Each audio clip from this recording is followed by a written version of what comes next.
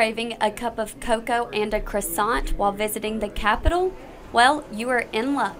Troy University's Montgomery campus is now home to the coffee shop chain Starbucks, located in the Barnes & Noble bookstore in Whitley Hall.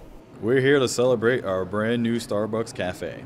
Um, ever since the press release uh, that happened in October, everyone was asking for it, and it's now here. You know, I think the Barnes & Noble Cafe is going to be a great addition to the Montgomery area. You know, the downtown uh, community is really thriving. It's it's really building up, and I think this is a good element to help that growth. Students, university employees, and others have been able to buy a cup of coffee since the soft opening last week but the grand opening will take place later this month.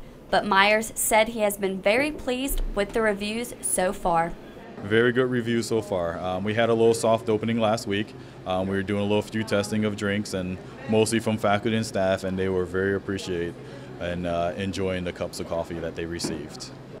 When completed, the coffee shop will have outdoor tables and doors with direct access to Montgomery Street in efforts to be more welcoming to people of downtown Montgomery and neighboring businesses.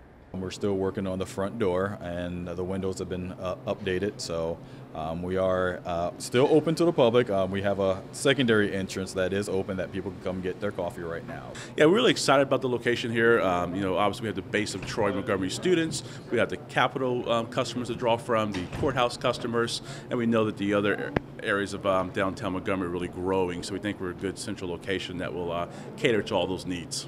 Hamas said the Starbucks will have monthly specials and events geared to bring in the Montgomery community.